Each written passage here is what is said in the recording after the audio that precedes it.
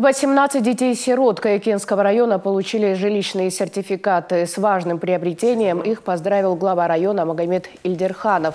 Отмечу, что главным преимуществом является то, что выбор самого жилья и места расположения зависит от получателя.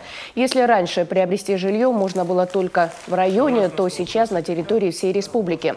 Кроме того, можно приобрести жилье большей площади, добавив собственные или кредитные средства, а также материнский капитал мы на первом месте по э, сертификатам, которые были одобрены, одобрены э, жителям нашего района, которые состоят э, в списке детей, оставшихся без попечения родителей. Это 18 человек по Кайкенскому району стали обладателями вот этих сертификатов.